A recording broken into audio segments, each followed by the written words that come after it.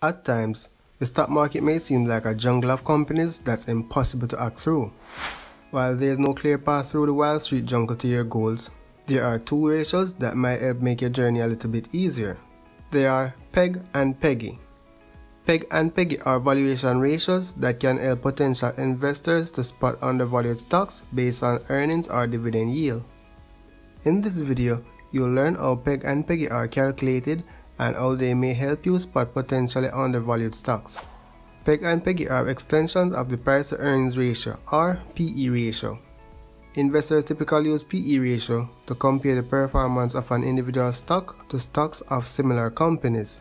However, the PE ratio doesn't account for the fact that different companies with different corporate objectives may treat earnings differently. For example, Many companies reinvest their earnings back into the organization for research and development or expansion. Other companies share earnings with their shareholders in the form of dividends. Also, the PE ratio doesn't account for the company's future growth nor for its dividends, but PEG and PEGY ratios do. The PEG ratio compares a company's PE ratio to its forecasted earnings growth. Typically, the forecasted earnings growth is looking at either the next year or 5 years out. Low PEG ratios are accomplished when a company has a lower PE period with a higher earnings growth projection. This can be a potentially powerful combination. A stock with a PEG ratio below 1 is typically considered as undervalued, whereas stocks with PE ratios between 1 and 2 may be considered as fairly valued, and a stock with a PEG ratio greater than 2 is likely overvalued. PEG can give an assessment of how a stock is valued compared to its growth rate. Now let's examine PEGY, the ratio that helps evaluate dividend paying stocks. Stocks with higher dividend yield don't usually appreciate as quick as companies that reinvest their earnings back into the business. The PEGY ratio takes dividends into account by comparing the company's PE ratio to its projected growth rate and dividend yield.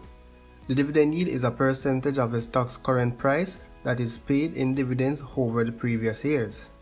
The dividend yield gives investors an estimate of expected future dividend payments based on previous payments and the stock's current price.